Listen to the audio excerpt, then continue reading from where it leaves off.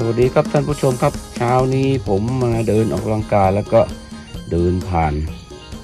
อ่าลำธารลำคลองคลองส่งน้ำลำเหมืองดีกว่าเนอะลำเหมืองส่งน้ำอ่าตรงนี้นะครับก็มาเจอเจ้าหอยเชอรี่กำลังวางไข่ที่ก้านบอนหรือต้นบอนนะครับก็เลยถ่ายให้ท่านผู้ชมดูนะเพราะว่าพี่น้องหลายท่านก็คงไม่เคยเห็นหอยเชอรี่วางไข่ นะเขาวางยังไงขึ้นมาวางอย่างนี้แล้วครับเนี่ยมากอดกับก้านของบอลแล้วก็วางไข่ส่วนอันนั้นหน้านี่คงเป็นของตัวอื่นาวางเสร็จเรียบร้อยแล้วนะครับ พวกหอยเชอรี่นี่ก็จะวางไข่ไว้ที่สูงนะครับ ตามกิ่งไม้ต้นไม้อะไรต่างๆ เสร็จแล้วเมื่อมันฟักตัวเต็มที่ลูกของมันก็จะตกลงไปในน้ำก็ไปดำรงชีวิตอยู่ในน้ำนะครับสำหรับพี่น้องเกษตรกรชาวนาก็คงจะเคยเห็นนะครับ อ่ามีเยอะแยะนะตามลำคลองตาม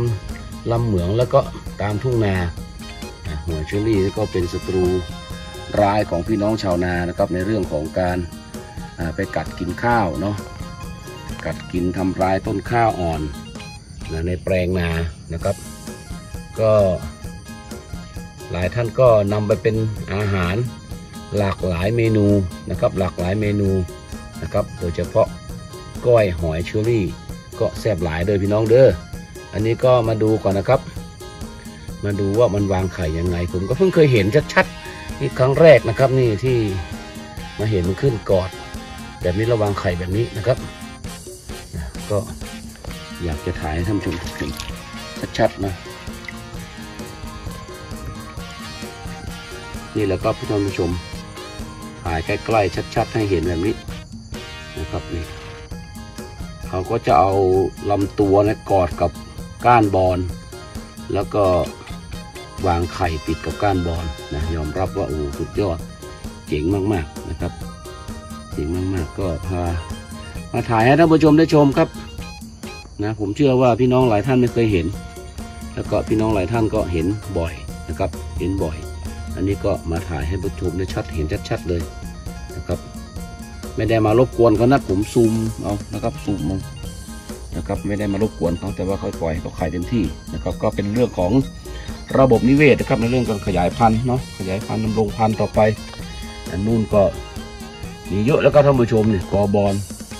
นี่นู่นก็มีนะนู่นก็มีนะครับนะครับเยอะเลยนะครับอันนี้ก็หอยเชอรี่มาวางไข่ไว้แถวนี้ นี่ก็มีนะครับ ก็ออกลูกเยอะเหมือนกันนะครับเนี่ยก็แพร่พันธุ์ขยายพันธุ์เยอะนะหลายพื้นที่ก็มีการกำจัดมีการปราบเพราะว่ามันเป็นศัตรูร้ายของข้าวเนาะไปทำลายเรื่องการจับกินข้าว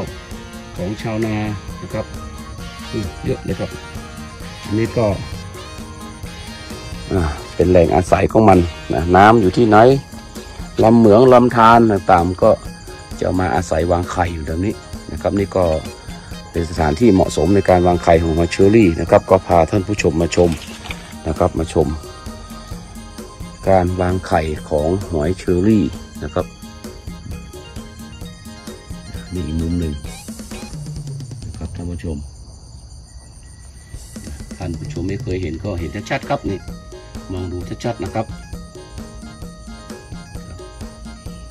เช้านี้ก็ไว้เพียงเท่านี้นะครับ มาออกกำลังกายมาเจอหอยเชอรี่วางไข่ก็ถ่ายแล้วท่านผู้ชมได้ดูก็เป็นเกล็ดเล็กเกล็ดน้อยนะครับ ผมก็เพิ่งเคยเห็นเป็นครั้งแรกเหมือนกัน เห็นเขาวางไข่ลักษณะแบบนี้นะครับ ก็สำหรับคลิปนี้ก็คงจะไว้เพียงเท่านี้นะครับ สวัสดีครับ